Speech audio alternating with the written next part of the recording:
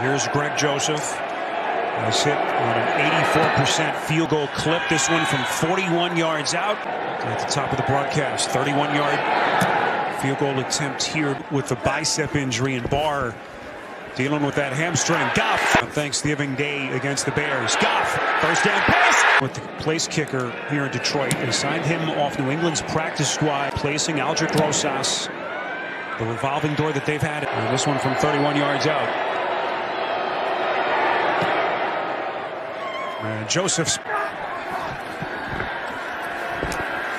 Madison wanted right. Madison seconds. To your coach. Money. Cousins looking. Enzo to the ankle injury in the first half. Third and goal with a buck 54 left. Cousins play action. Here we go. Goff from the gun to the